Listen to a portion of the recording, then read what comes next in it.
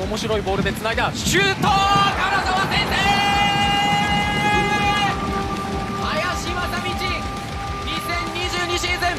津江金沢！第1号はこの男！林正道の先制ゴール！まあ、ここ町田はかなりバイタルのとこコンパクトに守ってるんですけどこれイレギュラー的にね高井の頭に当たってこぼれてきましたよね林の前に、まあ、ここにまず島田のところにボール入れたところ大事でしたし、まあ、これはイレギュラーではありましたが林はよくこう反応してましたよね。はい、というところがさあこのクロス。混戦の中突き刺しました。金沢先生。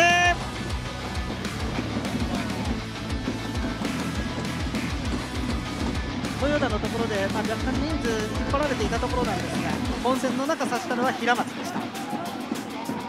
ぱりセカンドボールの予測しっかりポジションを取っているっていう部分では素晴らしいですよね、さあこれが平松今シーズン初得点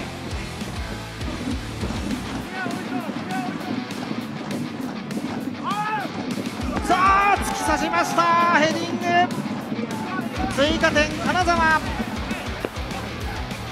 きっちりとセットプレーものにしました2対0や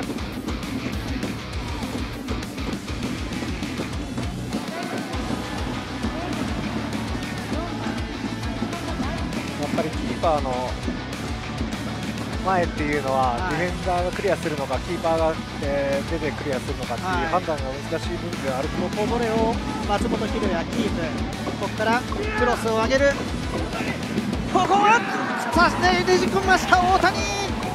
再び勝ち越しは金沢、セットプレーからの流れで得点奪いました。しっかり狙っていた大谷選手、そしてシュートの技術も高いですね。そうですね今季初得点、そのまあ、決して前にディフェンダーもいて簡単なシュートではなかったと思うんですけどもね。はい、し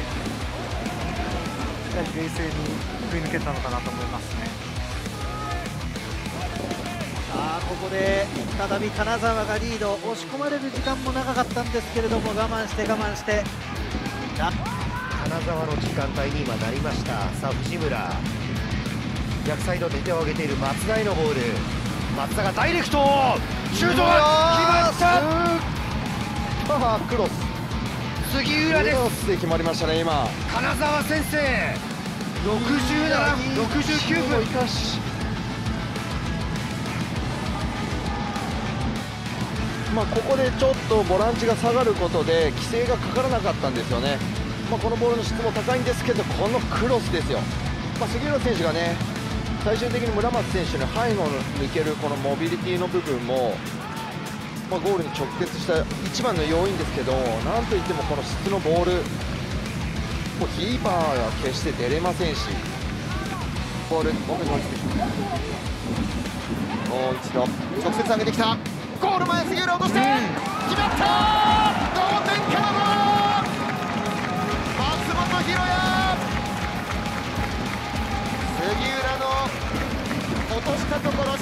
かりと狙いを済まして移籍初ゴール1対1同点。1回深く取りに行ったんですよ。で攻撃ダメでやり直してワンタッチで上げたボール杉村選手非常に冷静に中折り返しましたけどその前のこう藤村選手のねこの大谷選手のスルーパスが効きましてねこれで相手のディフェンスラインがしっかり下がる。でバックパスで上げるところをまた入れ替わってね入ってくるってここ捕まえられませんでしたからね。左から長峰長峰のクロス。頭で戻して豊田のシュート。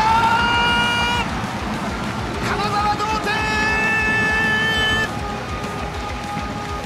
豊田洋平移籍後初ゴール。再び試合を振り出しに戻します。同点金沢2対2まあ、長峰選手、今日2本目ですね、この左のクロス、ワンタッチで上げる、またこれを折り返す、まあ、